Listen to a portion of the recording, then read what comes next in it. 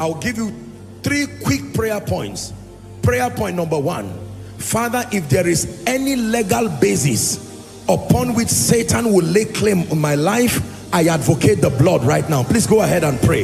If there is any legal basis, if there is any legal basis, the psalmist said, if I cherish iniquity in my heart, the Lord would not hear me. Go ahead and pray. In the name of Jesus.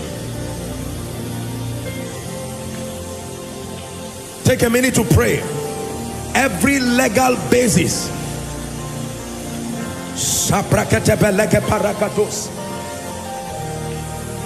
The sin of commission, the sin of omission. I obtain mercy by God. I obtain mercy by God. Sins of bloodline. I obtain mercy by God. Territorial sins. I obtain mercy from God. Open your mouth and pray with humility and brokenness. One minute. Salaka parakata baratos sevres. Lekrepete karatos.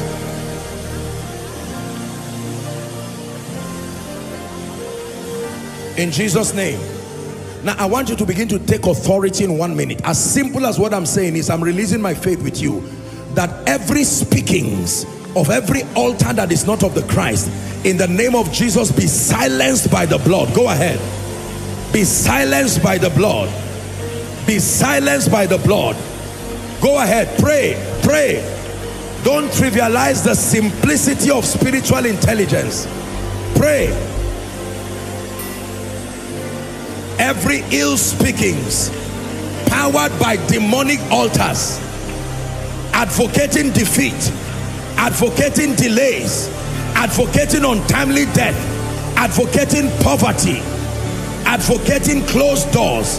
By the blood of the eternal covenant I come against you. I dismantle those altars. Someone pray. I come against you. I dismantle those altars. By the blood of the eternal covenant I come against you. I dismantle those altars. Attracting tragedies to my life. Attracting wicked men to my life. From one destruction to another. From one trouble to another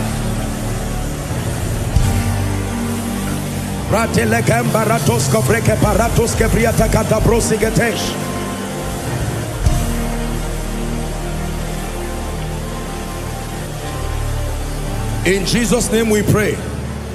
Now you're going to cry for grace to engage this covenant of sacrifice. Lord, grace to follow you wholly. Grace to commit to a life of prayer consistently. And grace to dedicate my time, energy, and resources to serve you. Go ahead and pray. Grace. Obtain that grace. Obtain that grace. Obtain that grace obtain that grace. Obtain that grace. Obtain that grace. Sapela malanta obtain that grace. In the name of Jesus obtain that grace. Grace to follow the Lord wholly grace to follow the Lord wholly. Follow the Lord wholly.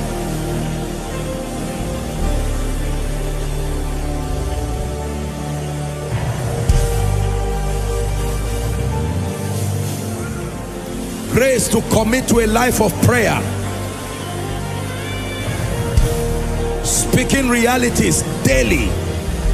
Rewriting stories daily declaring my will daily making my contributions to the manifestations of God's word in my life daily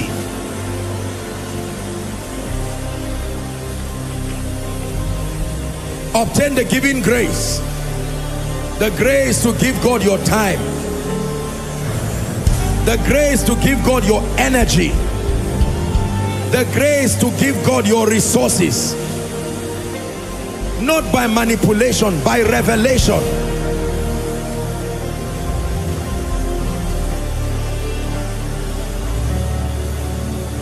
In Jesus' name we pray. In Jesus' name we pray. Maximizing your destiny, a call to fulfill God's purpose. Beloved, today we gather as young adults who are not only full of potential but also anointed and appointed for a divine purpose.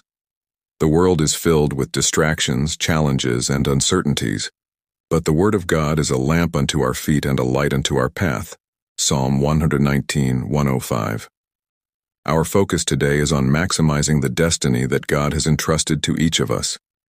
We are going to explore how we can live out our purpose and fulfill our divine calling. Number 1. Understanding destiny in God's kingdom.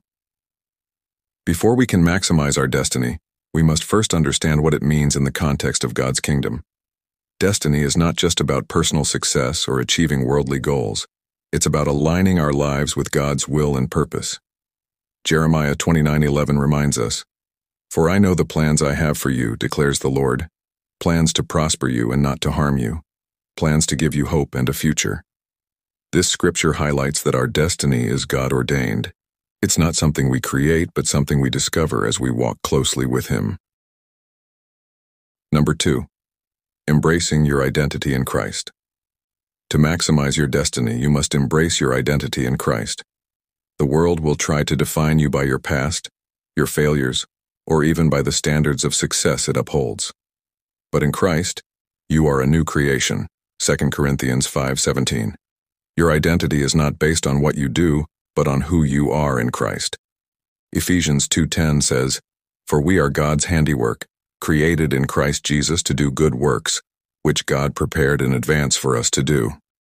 This means that God has already prepared a path for you to walk in, one that is filled with purpose and meaning. Number 3. Seeking God's will through prayer and the Word. Maximizing your destiny requires a deep and consistent relationship with God. Proverbs 3 5 6 advises us Trust in the Lord with all your heart, and lean not on your own understanding. In all your ways submit to Him, and He will make your paths straight. Prayer is the vehicle through which we communicate with God, and the Bible is the roadmap for our journey.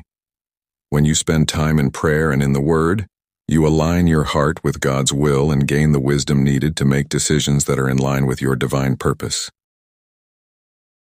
Number 4. Overcoming obstacles with faith and perseverance. Every destiny comes with its challenges, but with faith and perseverance, you can overcome them. James 1 2 4 encourages us Consider it pure joy, my brothers and sisters, whenever you face trials of many kinds, because you know that the testing of your faith produces perseverance. Let perseverance finish its work, so that you may be mature and complete, not lacking anything. The obstacles you face are not meant to break you, but to build you. They are tools in God's hands to mold your character and strengthen your resolve. Number 5 surrounding yourself with godly counsel. One of the keys to maximizing your destiny is to surround yourself with people who will encourage, challenge, and support you in your walk with Christ. Proverbs 13:20 says, "Walk with the wise and become wise, for a companion of fools suffers harm." The company you keep can either propel you toward your destiny or pull you away from it. Seek out mentors, friends, and leaders who will speak life into you and guide you according to the Word of God. Number 6. Serving others as an expression of God's love. Our destiny is never solely about ourselves, it's about impacting others for the kingdom of God. Jesus himself said in Matthew 20, 28, The Son of Man did not come to be served, but to serve and to give his life as a ransom for many. One of the greatest ways to maximize your destiny is to serve others. When you use your gifts, talents, and resources to bless others, you reflect the love of Christ and fulfill the purpose for which you were created. Number 7. Staying focused on the eternal perspective. As young adults, it's easy to get caught up in the pursuit of temporal success, career achievements, financial stability, or personal accomplishments. However, maximizing your destiny means keeping your eyes on eternity. Colossians 3 verse 2 instructs us, Set your minds on things above, not on earthly things. When you live with an eternal perspective, you make decisions that have lasting value. You invest in relationships, character, and the advancement of God's kingdom rather than in things that will eventually fade away. Number 8. Walking in obedience and faithfulness. Finally, to maximize your destiny, you must walk in obedience and faithfulness to God's calling. Luke 16 verse 10 says, Whoever can be trusted with very little can also be trusted with much. God looks at our faithfulness in the small things before he entrusts us with greater responsibilities. Obedience is not always easy, but it is necessary. When God calls you to step out in faith, do so knowing that he will equip you for the task and reward your obedience. Conclusion Beloved, the time to maximize your destiny is now. God has placed you in this generation for a reason. You are here to make a difference, to shine his light in a world that desperately needs it. Don't settle for anything less than God's best for your life. Remember that your destiny is not about achieving worldly success, but about fulfilling God's purpose for your life. As you leave today, let the words of Paul in Philippians 3 verse 13 to 14 resonate in your heart. But one thing I do, forgetting what is behind and straining toward what is ahead, I press on toward the goal to win the prize for which God has called me heavenward in Christ Jesus. Press on, beloved.